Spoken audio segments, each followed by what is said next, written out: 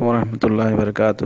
احرام کے احتیاط میں سے یہ بھی ہے کہ چہرے پہ کپڑا نہ پڑے اور جسم کے کہیں سے بھی کوئی بال ٹوٹنے نہ پائے، احتیاط کے ساتھ کہیں بھی کھجلی کرنی ہو تو کر لیں۔ پھر اسی طرح ناخن بھی نہ ٹوٹیں اور میاں بیوی کے آپس میں قربت بھی نہ ہو، ان تمام چیزوں سے پرہیز، احتیاط، احرام کی حالت میں لازمی، ضروری۔